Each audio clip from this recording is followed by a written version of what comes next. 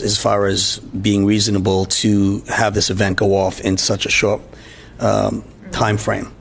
We are going to have to raise, um, uh, you know, more money to reimburse the town for the, you know, fire and, and police, and for the highway. Um,